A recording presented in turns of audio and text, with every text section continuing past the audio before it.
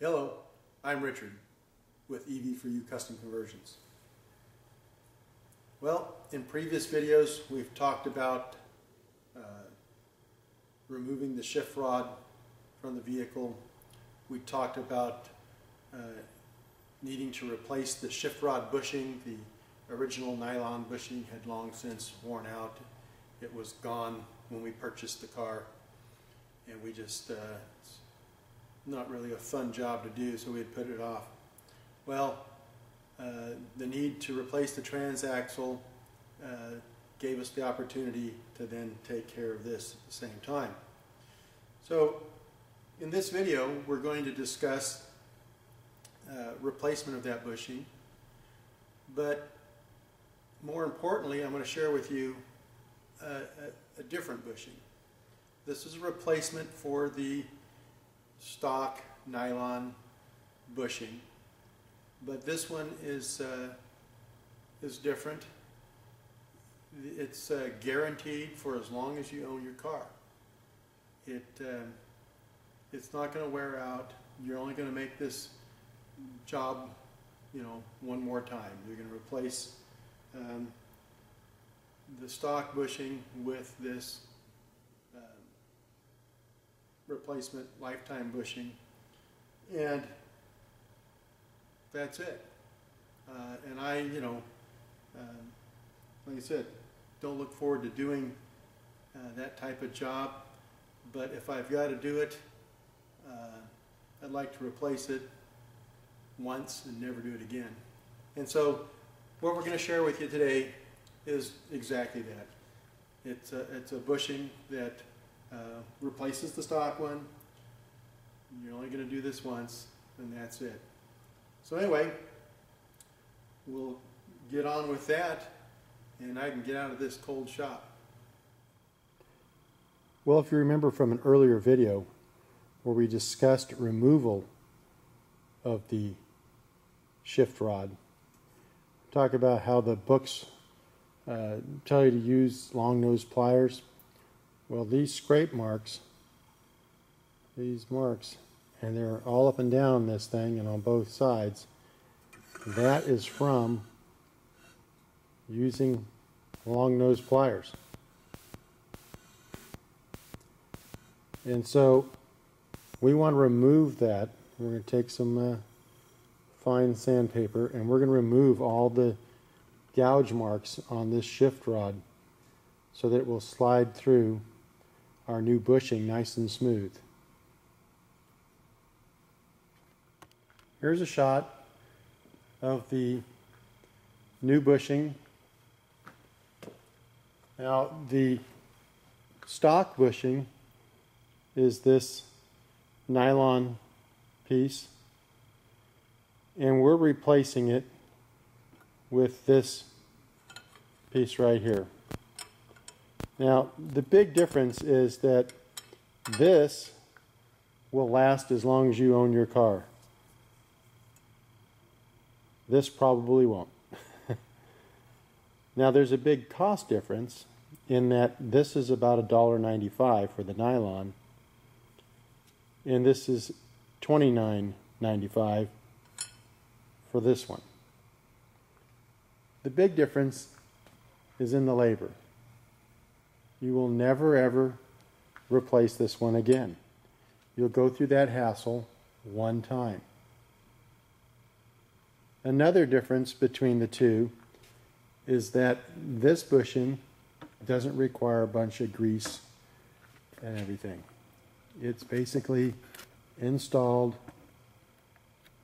dry and it has uh, oil impregnated in it and it's basically self-lubricating. It's held in place with a clip so it's a two-piece ordeal just like the original one. Original one has the nylon bushing and this little ring around it. Well this is put into our hanger and then a clip holds it in place. And I'll show you uh, the bushing with the shift rod installed and our gear shift lever installed here. I just wanted to show you the, the bushing by itself. Now, this bushing also comes with a um, installation tool that allows you to install this uh, real quick and easy. It's probably no more difficult to install than uh, the stock one was. Like I said, big difference is this will wear out. This one will last you for as long as you have your car. So if I'm going to do the labor, I'd rather do it one time, get that hassle over and done with, and never worry about it again. And this is how you can achieve that. Okay, here's our mock-up of the gear shift lever, our hanger, and this is our shift rod in place. So you can see with our new bushing in place, it goes between third and fourth very smoothly, or first and second, and third and fourth. And then also first and second, third and fourth. Now, falling off my little hanger over here. But anyway, moves very smooth, full range of motion.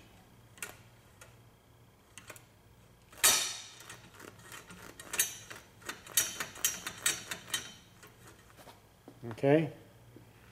It does everything that you want it to do, and it will do it for basically, I, I won't say forever, but the company does say for as long as you own the vehicle. So that could be a long time if you're like me. I've owned quite a few cars over 20 years. And I just have it supported on the back side here and I keep coming off my support. But you get the idea. That's how it works. Okay, here's a shot with the stock nylon bushing in place. Now, it's a much tighter fit and it was a lot harder to get this thing to slide on. Uh, we had to lubricate the uh, the shift rod and I've got it lubricated now just so that it will move. It, um, you know, it's nice and quiet. It's a real tight fit and I hold this and stay out of the way of the camera. You know, it will have full motion, just as it should, just as our other one did. But we're going to zoom in closer. One of the typical places these break, and you can see from the one that we removed from the vehicle, this is where it goes most of the time. This is right here where it goes through the hanger. And this shoulder right here, that's where the little ring rides.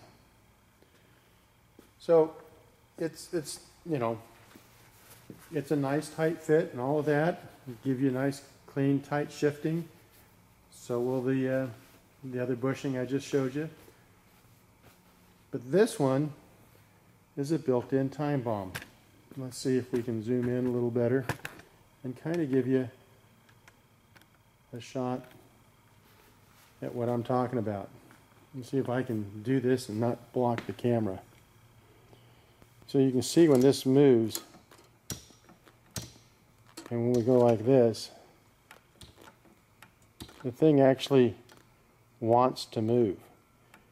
If it weren't for the, the uh, lubrication, it would, you know, be all over the place. So you use a multi-purpose grease on these, and that's to, you know, make it move easily and to buy you some time. But what that grease does is these actually get soft over time and it will just wear. And that's even more true if you have a hanger that uh, is old and this uh, nylon bushing or insert has worn through and it was metal to metal, it'll, you know, kind of cause it to have a little edge on that hanger and that hanger becomes like a little knife and it helps cut this faster. That's why I prefer the little bushing. And here it is loose. There's a little ridge right here where the keeper, the little clip goes to hold it in place. And it, uh, it can be lubricated also. You can grease this up. Uh, like I said, it's not necessary, but I typically throw some grease on them. It doesn't hurt anything. Um, but the nice thing is you can install this bushing onto the rod, or the rod into the bushing is actually how it's done, without greasing this thing all up to, to allow it to pass through, which is just a mess. I mean, it's, it's kind of a messy job uh, replacing this bushing. And so you, in a previous video, we showed you how to remove the rod. We now have shown you uh, the bushing installed. This is the way it goes. That's the rear of the car. That's the front of the car. So this hanger is behind. This is the hole that goes through into the tunnel.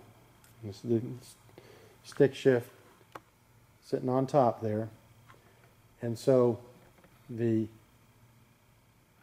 front of the car is that direction. The shaft goes to the rear. And so uh, this is installed first, and then you've got to work this rod through this bushing. Uh, the way that we do it will make it easier for you. I'm going to show you a trick to doing that. But either way, these aren't the easiest thing to do.